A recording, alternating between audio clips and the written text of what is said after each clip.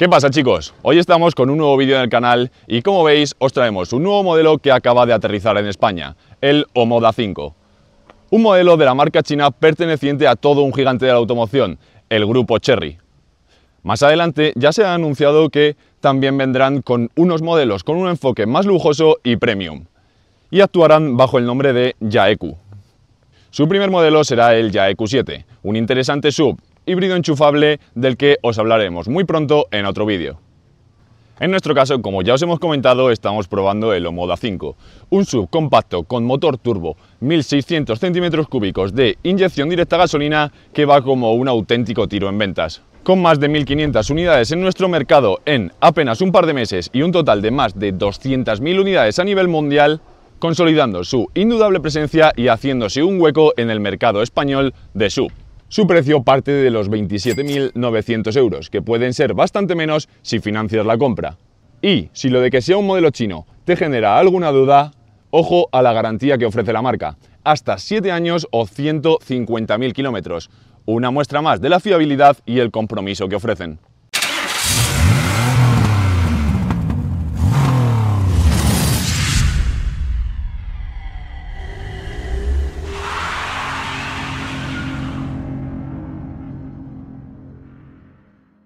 Omoda ha realizado su incursión en el mercado español de la mejor manera. Primero tiraron la casa por la ventana con la presentación de la marca en el Palacio de Cristal de Cibeles en Madrid, donde la presencia del embajador chino dejaba claro que iban a apostar fuerte. Luego llegó la confirmación de que el grupo automovilístico explotará las instalaciones barcelonesas de las que antes salían los modelos de Nissan.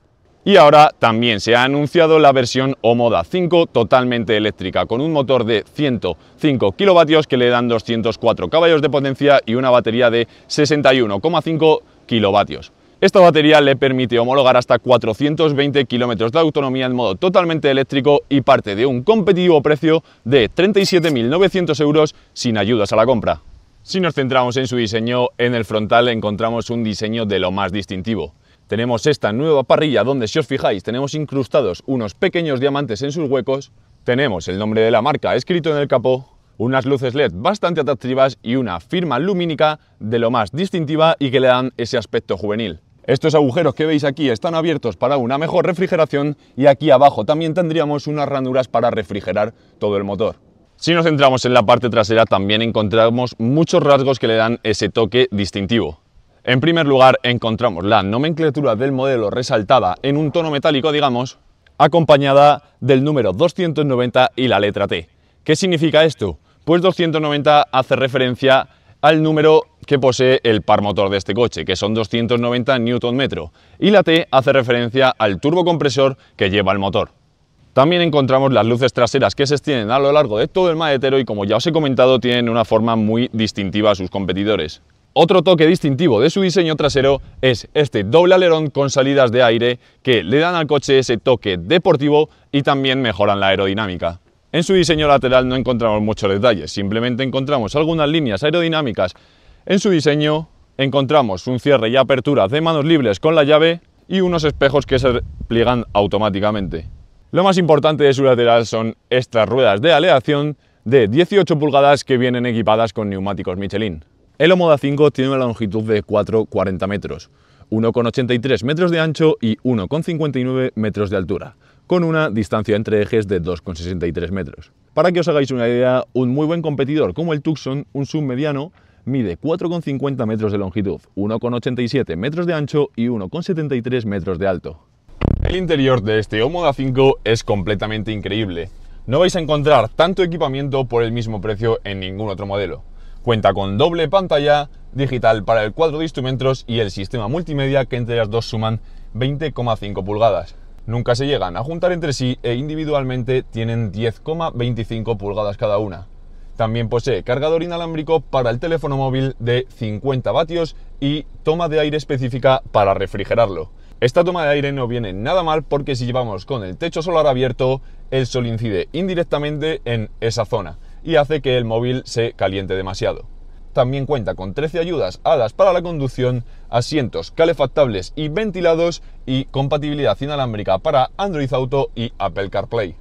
El sistema de reconocimiento de órdenes vocales se activa con la instrucción Hola o moda ¿Qué pasa? Abre el techo solar. Abriendo. Y también tiene otras funciones como subir y bajar ventanillas, poder una frecuencia de radio, etc. Si nos centramos en los acabados, se observa una variedad bastante amplia de acabados. Encontramos acabados distintos en el salpicadero, por ejemplo, que posee una especie de cuero ampliado perforado. También en la consola central encontramos mucho plástico. No han recurrido al piano black, pero tampoco llega a ser un tacto agradable del todo. Los asientos son el punto fuerte. Tenemos estos asientos deportivos tipo bucket en las plazas delanteras con sujeciones laterales, son muy cómodos, tienen regulación eléctrica y están tapizados en un cuero sintético perforado debido a que posee función de ventilación. No es un coche muy amplio, pero hay espacio de sobra para cuatro adultos de unos 1,80 metros. El techo solar que veis aquí es un poco pequeño para lo que se estila hoy en día, pero no es ninguna pega y cumple perfectamente con su función. La pantalla del sistema multimedia, como veis, va muy fluida y me gusta mucho porque tiene muchos accesos directos. Por ejemplo, si deslizamos desde la izquierda, encontramos un menú para desplegar todas las ayudas de conducción y activar o desactivarlas según nos convenga. También podemos manejar el brillo de la pantalla y bastantes configuraciones locales. Todo esto también podemos hacerlo si nos vamos a configuraciones del vehículo y aquí nos dirigimos a configuraciones de ayuda al conductor. Como veis aparecerán todas la detección de puntos ciegos, freno automático de emergencia, alerta del cambio de carril, asistente limitador de velocidad y también podemos hacer otras cosas como personalizar. Podemos editar la intensidad del brillo de la luz ambiente, elegir incluso el ajuste del color o por ejemplo también editar el retraso de la luz delantera, las luces altas inteligentes o incluso el ajuste de la altura y también podemos cambiar el tema de nuestra pantalla. Como veis aquí es la configuración de tema y nos da a elegir tres opciones. A mí el que más me ha gustado es el Classic porque aparecen las dos ruletas, la del cuenta revoluciones y la del medidor de velocidad. En los otros casos, en el caso del streamer por ejemplo, simplemente aparecerían los números tanto en la velocidad como, el, como en el cuenta revoluciones. En el otro acabado, que sería el Fashion, aparecería exactamente lo mismo, pero con unas líneas de diseño un tanto distintas. Y aquí debajo encontramos todos los botones para manejar el sistema de ventilación. Son todos táctiles, pero en cuanto pulsamos el primero ya nos aparece en la pantalla todo el menú de ventilación para regularlo a nuestro gusto, donde también podemos activar o desactivar las funciones de calefacción y ventilación de los asientos. La pantalla del cuadro de instrumentos la podemos manejar mediante varios botones que encontramos en el volante pero sobre todo con estos tres, de ir hacia la derecha, a la izquierda y el OK. Si vamos hacia la derecha encontramos el medidor de combustible, encontramos un menú donde podríamos ver la fatiga, el mantenimiento del kilometraje o incluso las averías, todo el sistema multimedia que hace referencia al radio o Bluetooth, o incluso un menú de navegación que nos mostraría por dónde circular y por dónde se acercan los demás vehículos. Dentro del menú de combustible, si subimos o bajamos, podemos encontrar todos los datos de nuestros viajes, el consumo que estamos realizando actualmente, el consumo que hemos realizado en el último viaje, la temperatura o incluso la presión de los neumáticos. En el volante, por ejemplo, para haceros un resumen, también encontramos las funciones de reconocimiento de voz, de volante calefactable, de colgar o coger las llamadas, o también, en el caso del lado izquierdo, el botón para establecer el modo crucero adaptativo que regularíamos la distancia con estos dos botones de aquí, que uno quita distancia y otro aumenta la distancia con el coche de delante. Su suavidad de funcionamiento y su empuje convencen bastante, sobre todo si van asociados al cambio de doble embrague, que es el único que está disponible, y que forma parte del equipamiento de serie.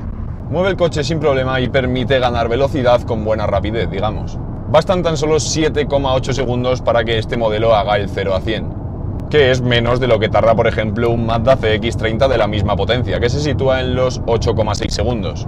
Y lo mismo que requiere un Hyundai Kona con más caballos, con 198 caballos. Hay tres modos de conducción, el Eco, el normal y el Sport. El modo Eco es el mejor modo para circular por ciudad, ya que nos ayuda a no pegar esos acelerones que tanto consumen al arrancar la marcha. En el modo Sport sale a relucir todo el par motor del coche y su dirección que también es configurable, se vuelve un poco más dura. La caja de cambios de 7 velocidades obviamente también nos entrega un poco más de respuesta al cambiar de marcha. Esta caja de cambios justo de la que os estoy hablando es una caja de cambios G-Track con cambio automático de doble embrague y 7 velocidades. Es una caja de cambios fabricada por Getrack, obviamente que son unos, unos, especialistas en cajas de cambios, pero no la fabrica Omoda. Funciona muy bien, no es de las más rápidas del mercado, pero sí es muy suave en el modo automático. Y se deja llevar de manera manual usando la palanca de cambios de manera secuencial. Pues un fallo es que no se sitúan levas detrás del volante. Un detalle que me hubiese gustado que incluyesen. Si queréis saber mi opinión, ya la sabéis, no hay un coche ahora mismo con tanto equipamiento por este precio. Es un coche muy cómodo y los sistemas de ayudas a la conducción no son excesivamente pesados refiriéndome a que no hacen mucho ruido o muchos pitiditos, o en el caso del mantenimiento del carril, a no pegar esos volantazos. La dirección es el único punto al que podemos sacar alguna pega, no porque vaya mal, sino porque podría ir mejor todavía, y es que se observa claramente que tiene un pequeño margen de error. Como podéis ver, aquí ahora mismo estoy girando el volante y apenas se nota un cambio de dirección. Eso es porque en la primera fase de giro del volante las ruedas giran poco y eso resta agilidad y precisión. Desde la pantalla multimedia se pueden configurar distintos grados de asistencia. También se pueden asociar a los tres modos de conducción y en el más firme, que sería el modo Sport, se disimula un poco esa sensación porque parece que el tacto es algo más sólido, menos fofo, digamos. Otro detalle que no me ha gustado, pero que irán puliendo a medida que actualicen el software, es que mientras estás utilizando el CarPlay, si utilizas el reconocimiento de voz de Hola o Moda, el sistema tiende a sacarnos del navegador, algo que no debería pasar. Son pequeños detalles de software que quedan por pulir, pero que no empañan el buen funcionamiento general del sistema multimedia, todo hay que decirlo. Otro detallito que he echado en falta en autopista a alta velocidad es un poco más de insonorización tanto de motor como de ruido aerodinámico. Las suspensiones son buenas, sí que es verdad que son un tanto blandas y en algunas veces algo rebotonas. No es ni mucho menos un coche deportivo y su plataforma tampoco contribuye mucho a reducir el balanceo, digamos. Pero cumple con todos los requisitos del consumidor de sub. Es un coche muy cómodo, pero obviamente no destaca por su agilidad en curvas. Eso sí, viene equipado de serie con neumáticos Michelin que hacen que agarre muy bien. El cambio de marchas es bastante agradable si realizamos una conducción normal y tranquila. Sin embargo, si queremos exprimir ese potencial total del coche y pedirle un poco más de emoción, se nota un poco perezoso y se aprecia un poco de lentitud a la reacción. Hay siete colores disponibles personalizables y también hay unas opciones de financiación increíbles si queréis obtener uno Moda 5. Si queréis financiar este modelo, Simplemente tendréis que depositar una entrada de 7.670 euros y una última cuota de 14.260 euros, me parece que eran. La cuota mensual resultante en estas condiciones es tan solo de 149 euros. Sin embargo, si queremos pagar nuestro Moda 5 al contado, el precio es de 27.899 euros para la versión Comfort y 29.900 euros para la versión Premium.